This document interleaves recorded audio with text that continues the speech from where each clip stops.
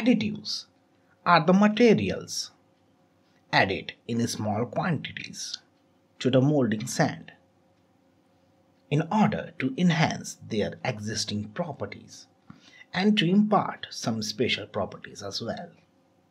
There are different types of additives ranging from wood powder to coal powder, dextrin starch to sawdust and some miscellaneous type of additives like fuel oil, cereal, iron oxide and molasses.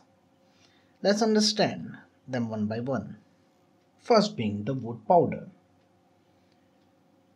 This kind of additive is used to improve the collapsibility and porosity of mold sand. Now, what is this collapsibility and porosity? Collapsibility is the ability to collapse because at the end of the casting process you have to break the mold. And if the mold collapses easily, then we will say the collapsibility of the molding sand was good. And the collapsibility can be enhanced by using additive like wood powder. And what is this porosity? Porosity is actually permeability. It is eventually the breathing ability or the breeding property of the molding sand. Next we have coal powder. The coal powder as an additive improves the refractoriness of the molding sand. Now the refractoriness is a property of retaining strength at extremely high temperature because we are going to pour molten metal into the mold and if the mold if the mold material is unable to retain its strength during such severe conditions the whole process the whole setup will collapse next we have dextrin or what we call starch this kind of additive is used to improve the strength of the molding sand, just like the coal powder.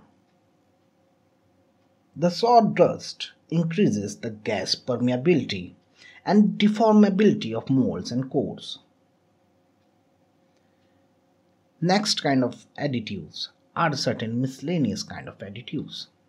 First we have the fuel oil which improves the moldability of sand.